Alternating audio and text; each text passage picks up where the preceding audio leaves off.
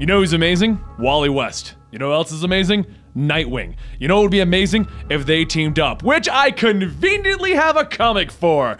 Let's get on with Nightwing Split Second, a single issue storyline that took place between Nightwing Must Die and Nightwing Blockbuster. Blo- Blockbuster. Block bu- Blockbusters. It didn't that company go out of business? Somebody tell me if they went out of business.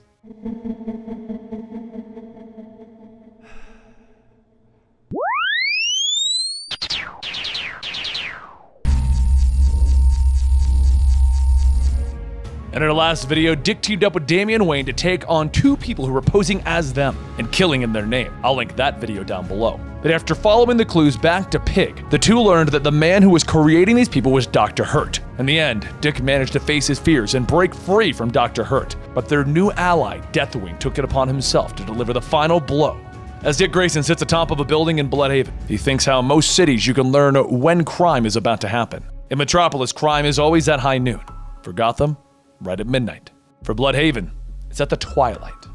No sooner does he finish his thought than a scream can be heard from the alley. A mugger points his gun at a woman and tells her to hand over her things, and then one of Dick's batons flies through the air, knocking the gun away. The mugger turns back swinging, telling him that he hopes he's quick, but the baton bounces off the metal ladder and it hits the mugger in the back of the head. Dick says physics were always his favorite subject as he catches the baton. And then he says, Judging by that right hook, you're probably a former boxer, right? You really shouldn't be picking on a helpless woman. The woman grabs the gun, stating that she isn't helpless, and then she fires the gun at the mugger. Instinctively, Dick jumps in the path of the bullet, and he knows that there is no way that he can stop it, but there is a sudden flash, and Wally West runs in, grabbing the bullet, telling him, Heh, rough night, huh?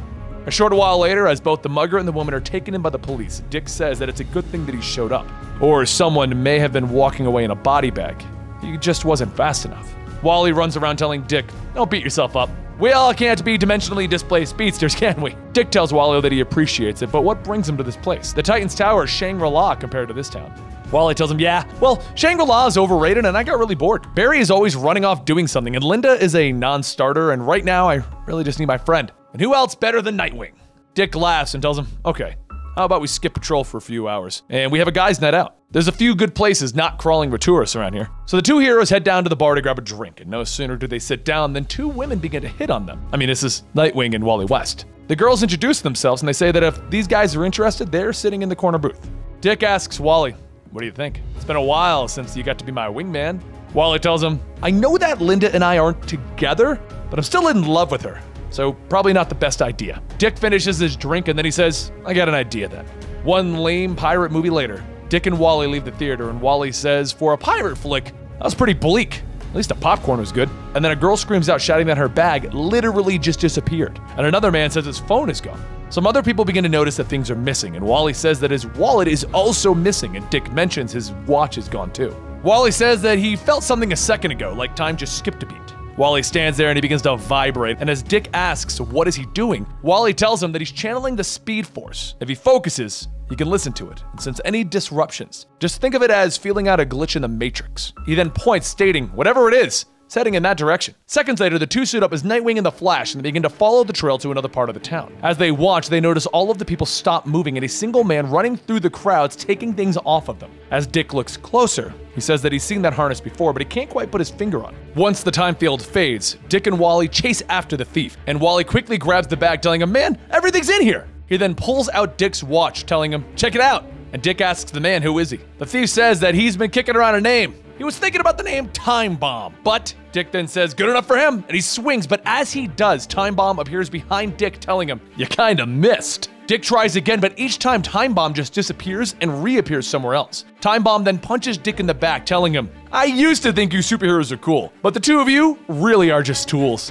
Wally runs in punching, telling him, You really need to work on your banter. But just like Dick, all of Wally's moves miss. After reappearing, Time Bomb knocks Wally down towards the railway tracks and freezes him in place. Dick watches and then realizes the tech that Time Bomb is using is the alien tech from the second hand. He then shouts that he really has no idea what he's messing with, and Time Bomb tells him, Sure, I do. And right now, I'm thinking of going out on a much larger scale. Just then, a train sounds off its horn, and Time Bomb tells him, Looks like your friend's about to be catching the train early. Dick tries to figure out what to do, and just like before, instinctively, he jumps down into the time field, pushing Wally out of the path. As soon as Wally's feet touches the ground, he whips it back around, pulling Dick out, telling him, Whoa!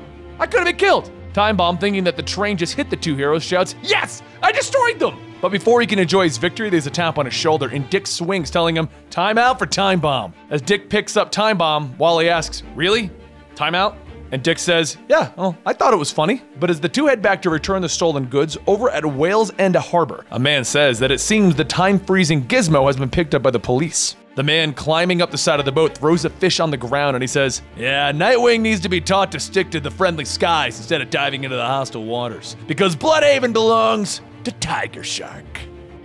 All right, now that I'm back, I can tell you Blockbuster did officially go out of business. There's like one left up in like some crazy corner of the United States. But anyway, I hope you guys enjoyed that Nightwing Flash team up video. I thought it was really interesting and just a fun little excursion for two of the best friends within the DC universe. At least they used to be before DC had a whole bunch of reboots and they stopped hanging out.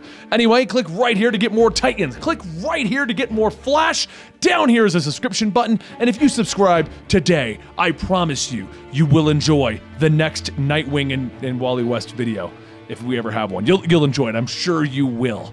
But thank you, each and every one of you who have subscribed to this channel. We only exist because of you, and we will continue to exist as long as you watch this channel and all of our other channels. Could you go watch Eligible Monster? That's our gaming channel. And Manga Storian, that's our manga channel. We have a manga channel. We really appreciate it. I would thank all of you and if, if you go subscribe to all of them, Houston will send you cookies. Yes, he will.